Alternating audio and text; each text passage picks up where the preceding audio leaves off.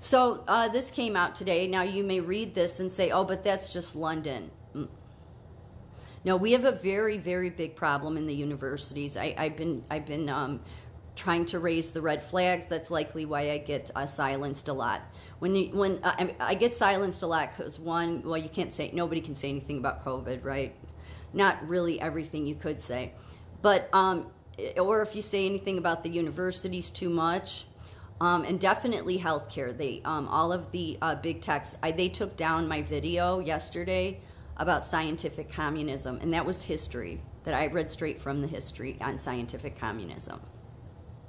So, so you can tell uh, what what they really want to protect the most. Okay, and and because no matter how the fallout is with this, you know, whatever the fallout is, um, like the politicians and the, the powers that be that are behind all of this, they, they're willing to sacrifice some things, but not the science. They want to still do all, which they'll do it no matter what.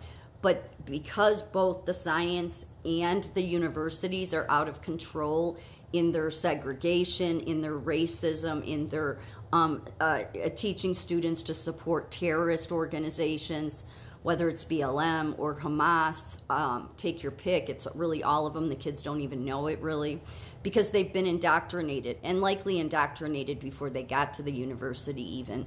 The university just helped to uh, push it further in. That's why it's so hard that that generate Generation Z, you can't change them. You, you, they can't, they, that these these people know what they're doing when it comes to social engineering. So the best thing you can do now, moving, is you just have to keep calling it out to be the balance against what all of these criminals uh, that are are violent, are, are, which is our politicians, which is our uh, the health. I mean, everybody that got on board with BLM, LGBTQ, because it's hurting children, and because of this. This out also today. Transgender University of California Davis professor threatens Zionist journalists and children.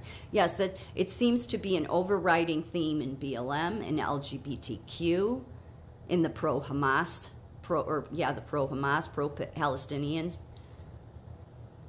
in the universities, and it's it, it it's designed. It's so designed. Um, if you still can't see that, and you still think, oh, I'm just a conspiracy theorist then why is such why is such wickedness all at every university? And it is. People think, oh, it's just a handful. No, it's not. Because they've been getting in. They, they, they got in so much into the universities long ago that they there's the, the university is sort of just the finishing ground of social engineering. They were getting you long before that. I'll show that in a minute. But a little bit about this um, criminally minded uh, dude. A far left trans assistant professor at the University of California, Davis, is being condemned as revolting by his school for threatening violence against Zionist journalists and their children online. Jemma DeCristo, a biological male who identifies as a black le lesbian tranarchist. Yes, that's a thing now. Just uh, let me show you that. Yeah, so now the trans movement is transforming once again and they're tranarchists. Yeah, yeah, you'll start seeing that a lot. And just to mention, the reason you will see this a lot is because BLM, LGBTQ, health equity, um, DEI, critical race theory, all of that stuff is all Karl Marx. It's it's twisted and wicked. So that's the reason why the pro-Palestinian, pro-Hamas group stands with LGBTQ and LGBTQ stands with them and why BLM stands with all of them too. All twisted and yet is so bad in this country, so bad that it's now in the health healthcare, it's in the education everywhere. And it's a bunch of politicians, almost all the Democrats. So that's how much these um, forensically, criminally minded, sick people there is. Okay, again, these are the same people that want to push transgenderism on children. These are the same, and and yet you know it's such they're such hypocrites because if they if if anybody in the eh, just for anybody who wants to know this, if you are LGBT uh, an LGBTQ member, yeah, go to Palestine, go to the Middle East, and see how quickly you're thrown off a building for it. Yeah, you don't get to you don't even get to be your transgender self there. Yeah, they don't accept it, but they will use it here in America when they want to destroy America. Because it makes absolutely no sense for LGBTQ to be standing with BLM or uh, the pro. Nobody in their right mind should be standing for pro Hamas. And the people that are pro Palestinian are standing for pro Hamas. They are. Again, this was an attack that was not like this. What that they are twisting this. They are. This is how much the social engineering is taking place. Sick. These people are sick, and I'm being kind by saying that. So, back to this dude.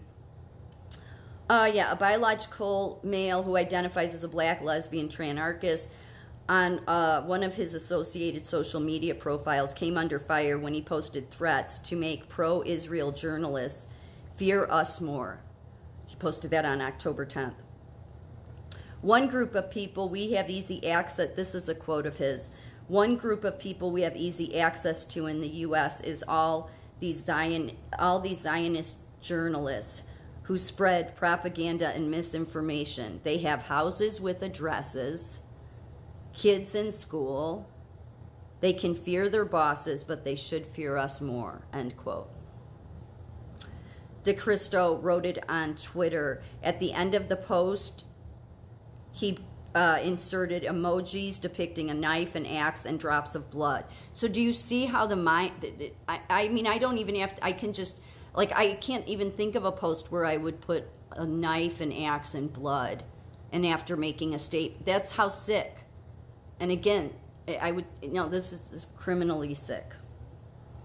In another post, he called with flame emojis for the U.S. Embassy in Lebanon to be burned with the caption, quote, U.S. out of everywhere, U.S. go home, end quote. that's what they all are. I've been saying this for a while, like the LGBT or the trans people.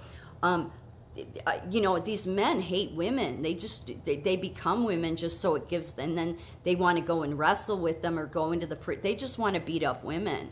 And right now, we have the Democrats seem to hate women because they don't call this shit out. They just want to say somebody like me's a racist. No, this is all sick and twisted. Very twisted. Um, and then even these universities that are coming out, even the ones that are coming out and denouncing this, it's about as believable as the politicians. Like Biden saying he stands with Israel or that he they knew that these people were going to do all this. They did. They did. This all goes with um, diversity, equity, and inclusion. So anytime you see those words, and they don't necessarily have to be together, but out of a university, because this university denounced this but used oh our diversity yeah that word the way it's being used tied to the agenda 20 the green new deal no it's it's part of wanting to segregate. It's part of health equity. It's sick. It's pseudoscience, and it is is it is uh, it is all part of the same agenda. And here's how much your children, for a long time, have been being socially engineered long before they came to, or went to the university. So this was 2016. Here's proof the Black Lives Matter movement is making a difference on college campuses. Oh, yeah, it's everywhere in college campuses. That's why it's like these professors, they should have been calling out BLM. They're not very smart people. If they want to get up and call out the pro uh, Hamas or they, they're upset about pro Hamas, then they should be calling out BLM. But Teen Vogue has been very much involved in socially engineering Yep, this was like 2019, Gen Z and unions. So see your unions, your education, your LGBTQ, your BLM, your pro-terrorist groups, they're all one and the same. 2019. Uh, this was 2023. How LGBTQ union activists transformed the labor movement because they always were all tied together, all of them. And this is Teen Vogue. Teen Vogue again. 2017. What to know about your rights to unionize. Teen Vogue. So do you see what they're doing? Yeah, socially engineering your kid with the universities.